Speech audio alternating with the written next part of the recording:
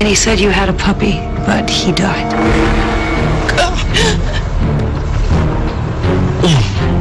Your son is ill, and he needs help.